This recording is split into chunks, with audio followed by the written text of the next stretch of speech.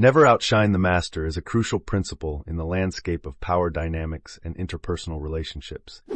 This concept emphasizes the importance of making those in positions of authority feel secure and superior in their roles.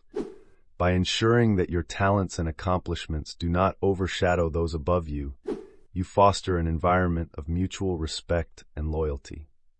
To implement this principle effectively, it's essential to recognize the insecurities that often accompany leadership. When you highlight the strengths and successes of your superiors, you not only validate their position, but also create a sense of camaraderie. This approach builds trust, as leaders appreciate individuals who contribute to their success rather than threaten it. Moreover, this principle encourages humility and strategic thinking.